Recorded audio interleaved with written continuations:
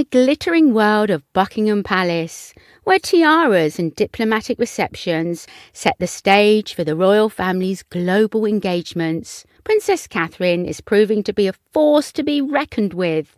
The Princess of Wales, at 41 is not merely a dazzling accessory to King Charles and Queen Camilla.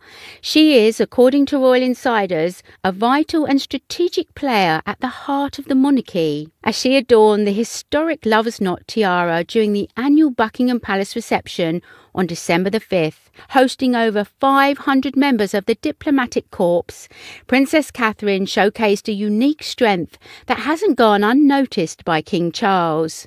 A royal source revealed to People magazine that she hugely enjoyed the evening, looking entirely at ease, and demonstrated a profound understanding of the family's crucial role in building global relationships on behalf of the UK. What's perhaps more intriguing is the leak about the close relationship between Princess Catherine and her father in law, King Charles, a dynamic that the insider describes as being quite close, in some respects closer to him than William. According to the insider, in the backdrop of Prince William and Prince Harry's reported fractious relationship with their father, Catherine has emerged as the honest broker, mending the familial bonds and fostering a closer connection between William and Charles. But behind the public image of niceness and smiles, Princess Catherine poses a hidden strength described by royal author Valentine Low as being strong minded, strong willed, and prepared to fight for what she wants and what she thinks is right. This resilience is particularly evident in her role alongside Prince William, where she provides directorial settings and guides the family and her husband, adds royal biographer Sally Bedell Smith.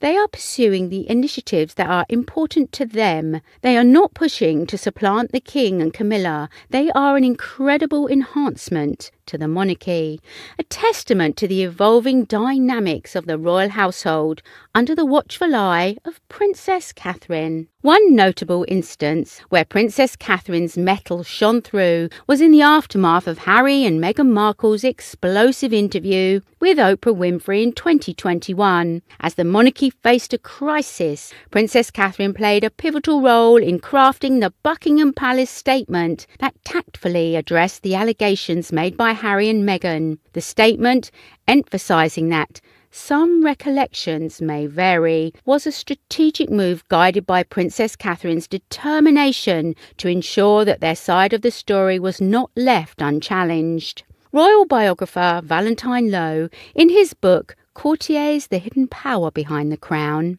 highlights Catherine's strategic thinking, emphasizing that she is going to be queen one day and has the long term interests of the monarchy and the royal family at heart. It's a testament to her seriousness and commitment, qualities lauded by sources close to the royal household. In the eyes of Simon Lewis, former Buckingham Palace communications chief and co host of the BBC podcast, When It Hits the Fan, Princess Catherine is not just a princess, she is very much seen as a player at the centre of Team Windsor. As the royal family navigates the complexities of modern times, Princess Catherine's influence emerges as a stabilising force, ensuring that tradition and innovation harmoniously coexist in the House of Windsor.